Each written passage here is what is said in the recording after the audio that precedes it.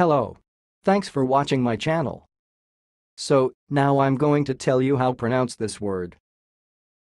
So let's start. Maypole.